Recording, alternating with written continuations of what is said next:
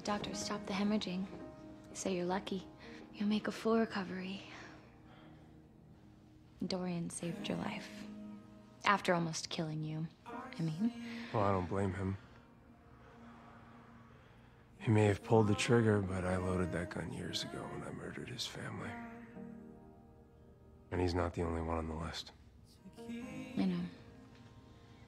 I've spent the entire day staring your collateral damage in the face, so I know what's going through your mind right now. You sure about that?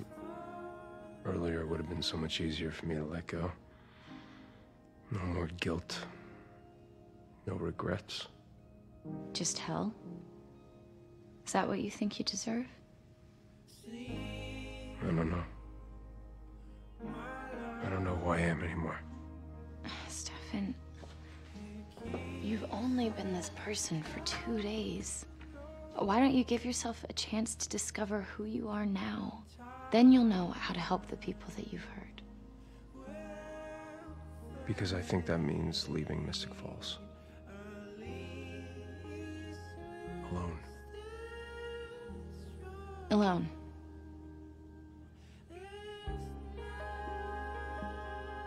But I, I've stood by you through everything.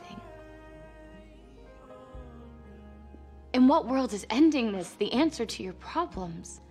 I'm doing it for you. Don't you. you dare say that this is about me. This has nothing to do with me. Your walk of atonement and your guilt, your need to be a martyr to your past, that is all for you. Be honest. What future can we have?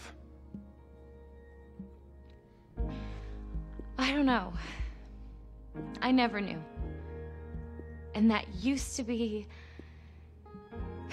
exciting. Now it just feels misguided.